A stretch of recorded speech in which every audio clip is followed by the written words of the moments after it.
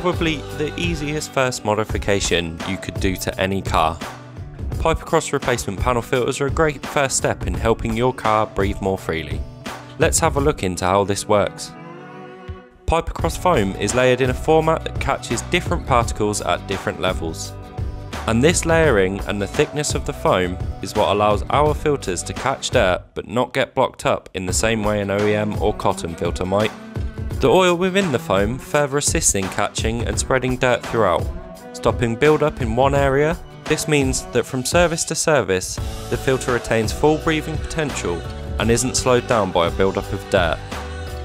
With this increased flow for a longer time and the simplicity of swapping out this part, we recommend it as a great first DIY modification that you can do in as little as 10 minutes. As a bonus, these filters are lifetime filters that simply required cleaning every 20,000 miles or every yearly service, whichever comes first, which come with a lifetime purchaser's warranty.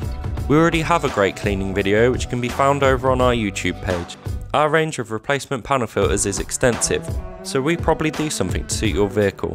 Why not head over to www.pipercross.com to find out more. And don't worry if we don't produce anything for your car. We have a huge range of universal filters also available. You can find out more about these by watching our previous video on cone filter. To keep up to date with our filter listings, like us on Facebook, follow us on Instagram and subscribe to us on YouTube.